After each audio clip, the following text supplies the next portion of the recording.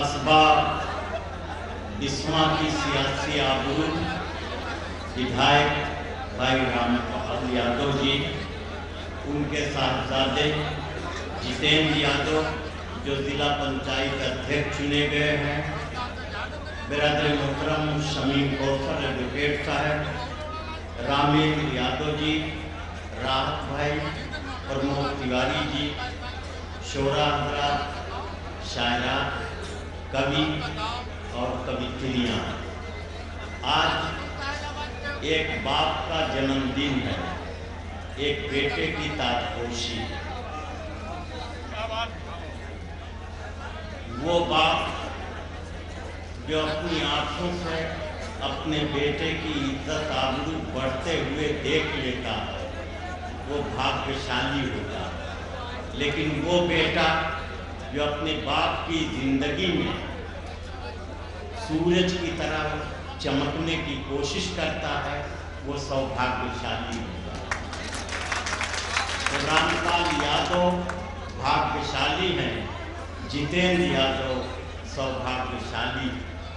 परंपराएँ इस तरह से मुंतकिल होती हैं, ट्रांसफ़र होती हैं, रिवायतें इस तरह से तब्दील होती हैं। कि हर पुरानी नस्ल नई नस्ल के लिए कुछ आदर्श छोड़ जाती है और नई नस्ल उन आदर्शों की रोशनी में अपनी ज़िंदगी गुजारती है। आज वही कुछ हो रहा है कि बाप का जन्मदिन है और बेटे की ताजपोशी का दिन है, यानी बाप ने बेटे को बुलंदियों पर देख लिया है और बेटे ने ये देख लिया कि एक लायक बाप एक काबिल बाप कैसा हुआ करता है और बाप का एहसान सारी उम्र नहीं भूला जा सकता। अब ये जितेंद्र यादव की खूबी है कि वो अपने बाप का कितना एहसान मानते हैं, उनके बाप ने तो जितना बना सकते थे, उतना उन्हें बना दिया। मेरे ये जुमले इन्हीं दोनों के लिए नहीं हैं। यहाँ जितने बाप बैठे हैं, उन सब के लिए हैं कि उनकी ज़िम्मेदारी है कि अपने बेटे को एक रोशन मुस्तकबिल, एक उज्जवल भविष्य दीजिए। और अब जितने बेटे यहाँ बैठे हैं, उनसे भी मुझे ये कहना है कि अपने बाप का ताहयात, सारी ज़िंदगी एहसान मानिए, उनके आदर्शों पर चलने की कोशिश कीजिए। ये रिवायत और परंपरा अगर बनी रही तो इंसानियत बहुत ही चमकदार रास्तों से हो करके आगे बढ़ेगी। मैं दोनों को बधाई दे रहा हूँ, मुबारकबाद दे रहा हूँ। रामपाल यादव जी को उनके जन्मदिन की और उनके बेटे को ताजपोशी की कि आज उनके सर पर एक बहुत जिम्मेदारियों का ताज रखा गया है, वो इस ताज की आबरू रखेंगे। मैं इससे हट करके ये बता दूँ कि बरसों से मैं यहाँ आता हूँ, यहाँ हमेशा कवि सम्मेलन और मुशायरा इतनी इज़्ज़त और इतने एहतराम के साथ सुना जाता है कि हम लोग बाहर जाकर के भी ये बयान करते हैं कि हम विश्वा मुशायरा पढ़ के आए हुए हैं। गुलों पे लिखती हुई, ला इल्लल्लाह। गुलों पे लिखती हुई, ला इल्लल्लाह। पहाड़ियों से उतरती अजान की खुशबू। वियोगी होगा पहला कवि, आह से उपजा होगा गान उमड़ कर आँखों से चुपचाप, वही होगी कविता अभियान ये है हिंदुस्तान। एक तरफ़ हिंदी है, एक तरफ़ उर्दू है। दोनों आँखें हैं।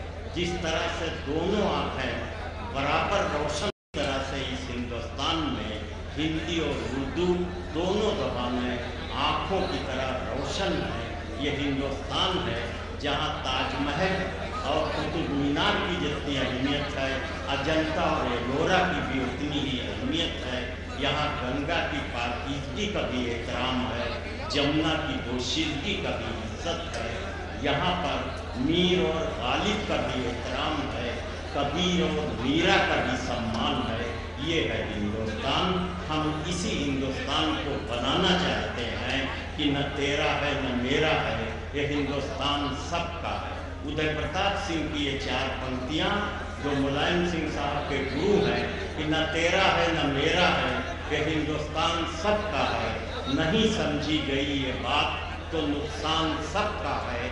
जो इसमें मिल गई नदियाँ, वो दिखलाई नहीं देती महासागर बनाने में, मगर इंसान सबका ये मुल्क जो है मिलजुल करके इसको सबने बनाया है, इसकी तहजीब, इसकी संस्कृति और इसकी सभ्यता का एहसान मानना और उसमें रच बस जाना, उसकी खुशबू को महसूस करना ये हमारी और आपकी ज़िम्मेदारी है। और एक मिला जुला हिंदुस्तान जो तहजीबों का संगम हो, नदियों का संगम तो यहाँ है ही लेकिन ये कवि सम्मेलन और मुशायरे दरअसल सभ्यताओं का संगम है, तहजीबों का संगम है। और याद रखिए, तहजीबें सभ्यताएँ दुनिया में कभी नहीं टकराती हैं। जब टकराती हैं तो वह सतह टकराती हैं। इंसान के अंदर का जंगली पल टकराता आइए, हम महजब बनने की कोशिश करें। सब लोग सुसंस्कृत बनने की कोशिश करें। ये मुशायरा हमें ऐसी ही सभ्यता और तहजीब की तरफ़ ले चलता है। इन लफ्ज़ों के साथ मैं अपनी गुफ्तु ख़त्म कर रहा हूँ।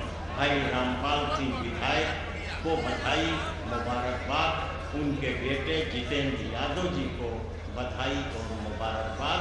अब आइए, इस कवि सम्मेलन और मुशायरे को हम चाहते हैं कि यह खूबसूरत कौमी गीत से इसको इसकी शुरुआत की जाए ताकि वतन की मोहब्बत, जिसके लिए ये कहा जाता है कि वतन की रेत मुझे एड़ियाँ रगड़ने दे।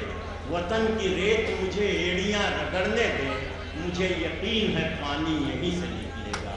तो आइए उस वतन की मिट्टी की खुशबू को गीत बनाया है मोहतरमा शबीना दीप ने। जो इंटरनेशनल नेम और फेम की शायरा है, मैं चाहता हूँ कि कौमी गीत से वो इस कवि सम्मेलन में शायरे का आगाज़ करते हैं। बाद में जब उनका मकाम आएगा तो फिर मैं उनसे गुजारिश करूँगा। शबीना साहब का तशीफ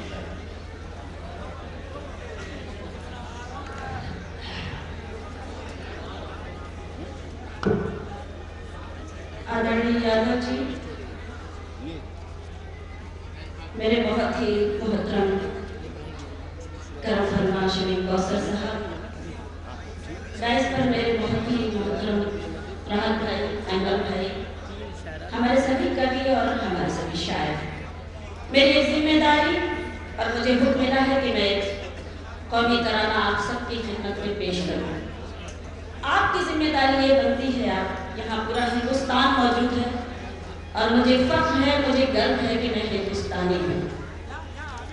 तो मैं चाहती हूँ कि एक सच्चे हिंदुस्तानी होने के नाते हम सबकी ये ज़िम्मेदारी बनती है कि हम सब उसी अकीदत से, उसी मोहब्बत से इस गीत में शरीक हों, अपनी मोहब्बतें और अपनी दुआएँ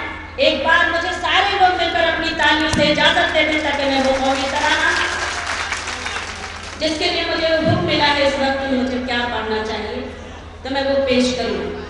शरीक करती हूँ, आपकी आवाज़ बनकर आपकी खिदमत में हाजिर हूँ। सुहेल भाई नैयर भाई, हमारे सभी मेहमान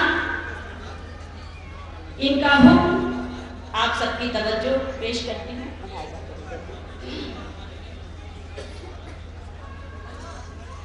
मेरे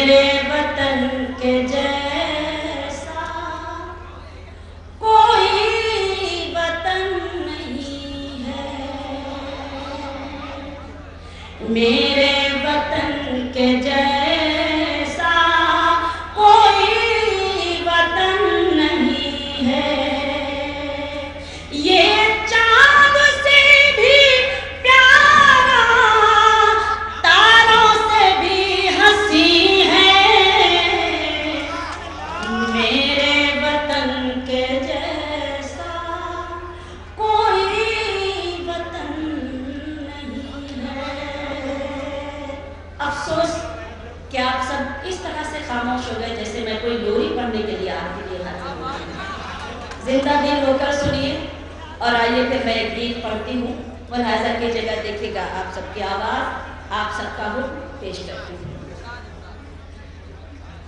हिंदुस्तान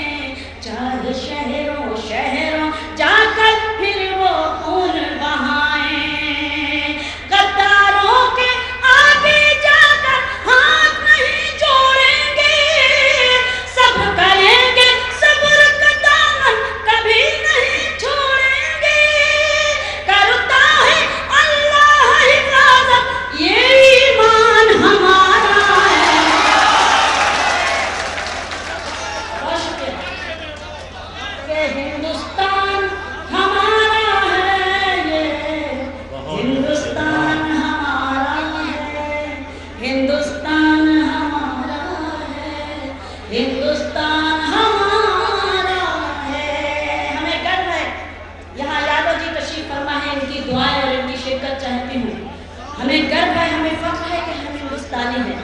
अगर मैं एक सच्चा बंद आपकी खिदमत में पेश करती हूँ कि यहाँ बैठा हुआ है कि एक शख्स मुझे अपनी दुआओं से नवाजे, कि जिन लोगों को भी जाना था, जिन लोगों को भी जाना था, चले गए वो कराची।